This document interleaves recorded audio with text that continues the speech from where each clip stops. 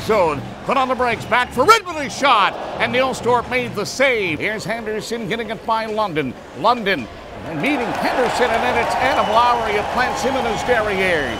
Ice Caps need him to get his game back here as he goes in hard on the forecheck. Here's a shot right on, and Nilstorp made the save as Mouillierat got a good scoring opportunity.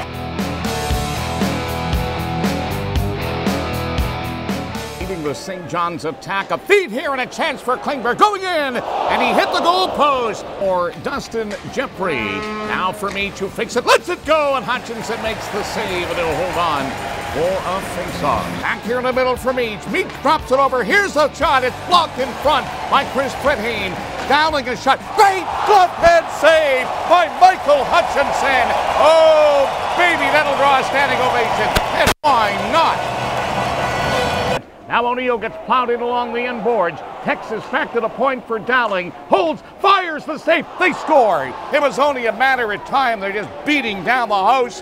And the Ice Caps keep turning it over and over and over. And it's in their net. And at 15 54, the Texas Stars are rolling in St. John's. And they're up one to nothing.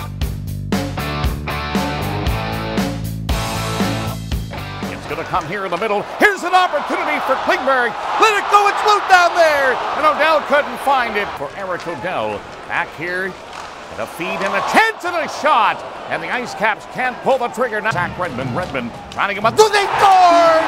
They score! Hail Mouillierat with an affliction.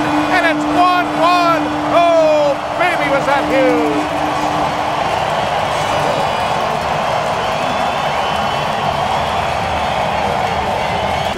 Tied it up. Now here's Albert coming the other way. Johnny Albert for Jason Jaffray, and he fired it off the shoulder of Nilstorp.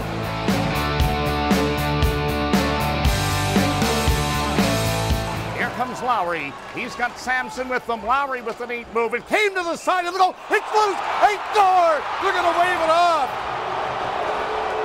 A quick whistle from the referee, and they're giving it to Dave Lewis here as Nilstorp never had it.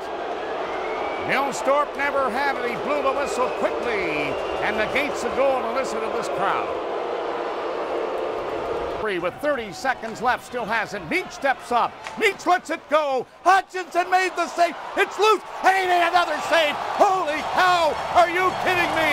The game was on the line. Brett Ritchie had the game. The game on the stick.